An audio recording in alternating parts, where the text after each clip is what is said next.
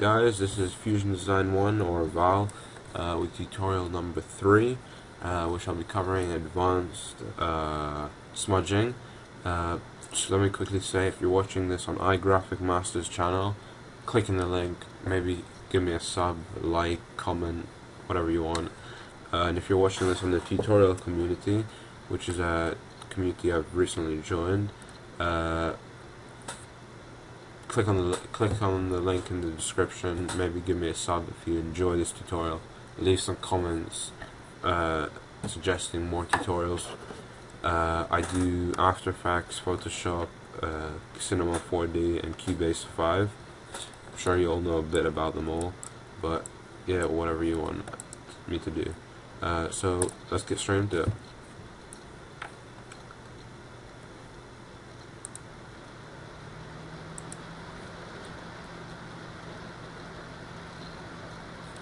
Okay, so let's open the the photos. Uh, we're gonna do this one today. Uh, I use this in my uh, speed art entry to Shift Arts contest. If you haven't seen that, maybe uh, go to my channel, watch it. Uh, maybe give me some feedback on it, whether you like it or not.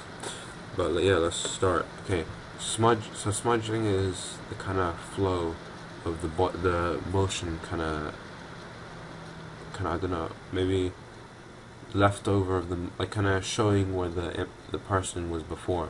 So since he's moving that way to the right, uh, that means he'll he'll leave a kind of a motion track behind him on the left. So that's what effectively what smudging is.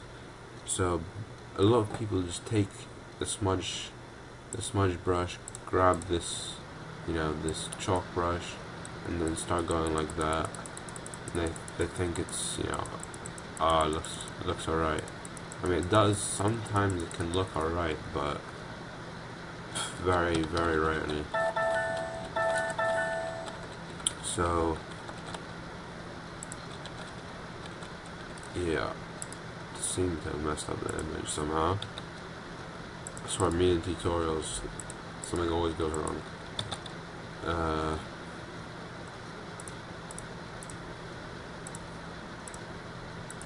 sorry, uh, don't know why I tried to plan this one. Uh, okay. That's the last thing that goes wrong in this tutorial. Uh, so, yep. So I explained to you what it was. Uh, that was, that's not very good smudging, basically. Uh, what you want to do to have good smudging, to make it look good, click the smudge tool, go on to uh, the soft, the small hard brush, maybe around 8 pixels, 30% of strength, and then you want to start kind of giving it a bit of, not too much, but a bit of only on the edges of things. Remember you have to pull it to the left because if you pull it to the right it just looks kind of rubbish. Uh, I haven't done this, or I haven't made a duplicate image yet, but remember always you should do that. Uh, in case something goes wrong that you need to start from the beginning.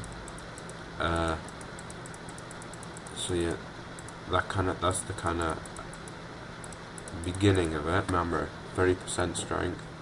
8 pixels on the second brush. Uh, a little bit more to get the color flowing. Maybe kind of look like he's scraping before. Uh, oops.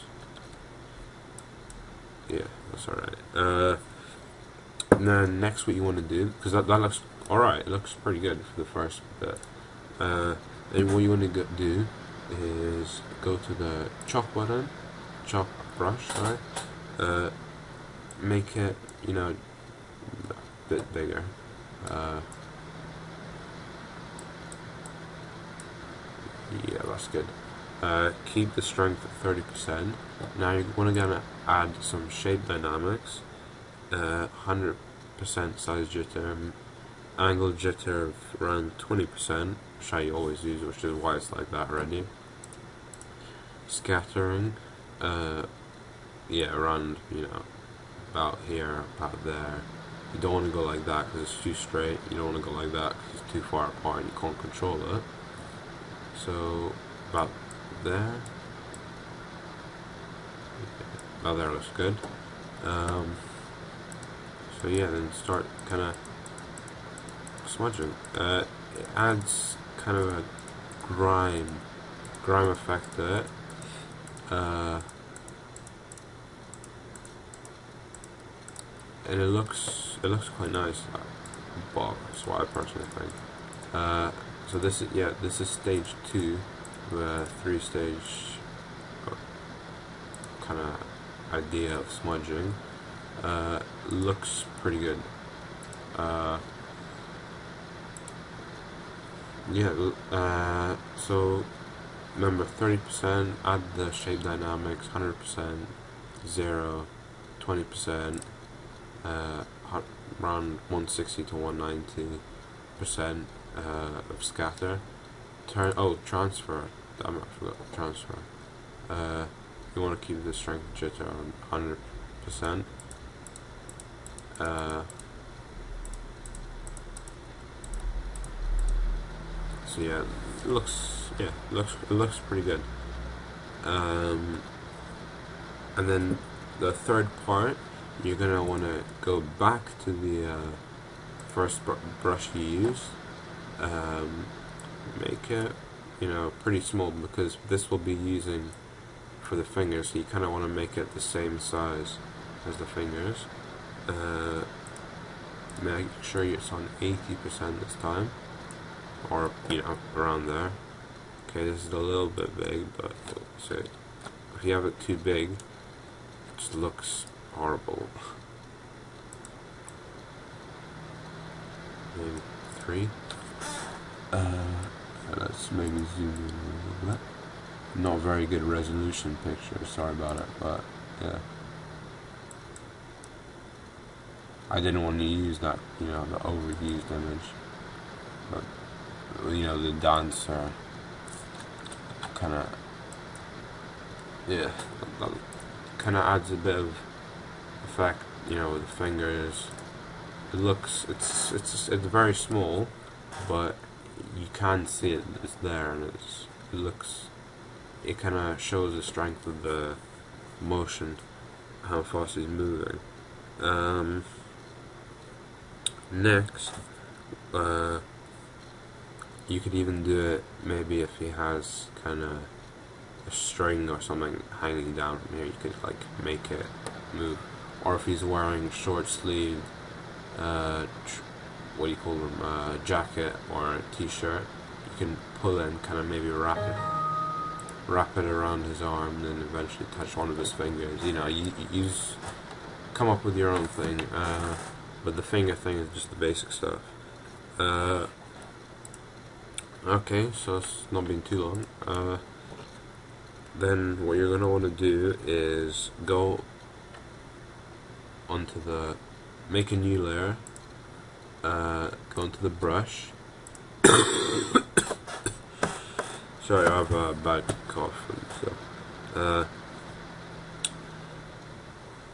choose a, a brush uh, a smoke brush you have.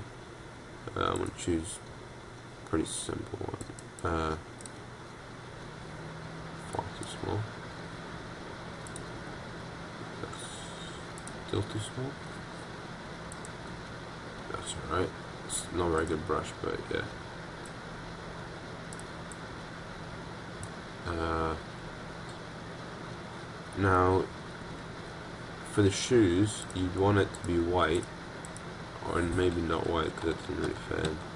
You want it the same color as the shoes, which is that. So, click the and then add you can add like kind of different parts to it and then maybe you know turn it a little bit. Add there. Add there. Uh, turn it again. Add a part there. Uh, there. Enough okay and then and then uh, take your what are this called again? Eyedropper tool um, and get the block do it again here do the same stuff. You can, you can obviously change the brush for something else to add a bit of uh, variety into your work. Uh, and then once you've you know added those parts because this is a new layer you'll be able to use the eraser tool and erase the parts you don't like. So personally I don't like that part there and this is a bit long. Uh, so that. Uh, that's a bit too long. See these this one and the one that was here were too similar be close to each other. So maybe shorten this to bit of variety.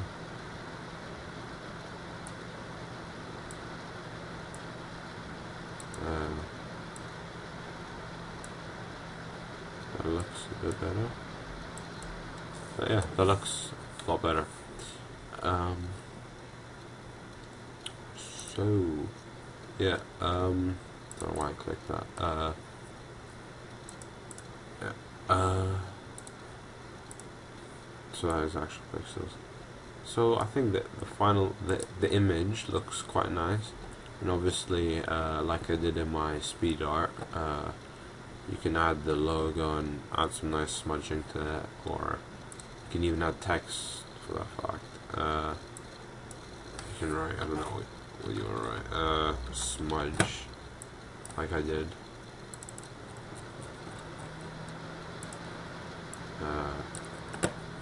it doesn't yeah doesn't look great but the text should have changed in my speed art, but doesn't matter or not. Uh, oh yeah, the text will not let you uh, smudge it until you race rasterize it.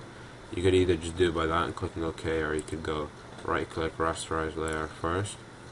Uh, so yeah, kind of play around with this. I'm sure you could come you can come up with something kind of maybe pull it up a little bit. Remember, for this part, for text you only want it pretty weak. You don't want it to be too drastic. Uh, maybe the S because it's one of those like letters which come and go to one side. So look alright on the S. Uh, yeah, so th this kind of thing with the text is pretty like standard, simple way of doing it. Uh, they're much. It's not very. It's not very kind of. You're not changing a lot, but you can see that there's a difference, and I think, for the better. Adds a bit of kind of meaning to it. Um, yeah, I so that's the end of the tutorial basically. Uh, you can yeah, that, that's the end of the tutorial basically. Um, so if you're watching uh, this on the uh, tutorial community, be sure to click on the link in the description. Maybe give me a, hit me a sub if you enjoyed this, and leave a comment, please, telling me what tutorial you want next. Um, also, also um, if you're watching this on iGraphic Masters channel and you liked it, maybe uh, hit it, give it a like, uh, PM me if you want any image, Im any GFX made. Uh, also, maybe hit me a sub if you liked it. Uh, okay, thanks, thanks guys. Uh, that's it from me, and goodbye.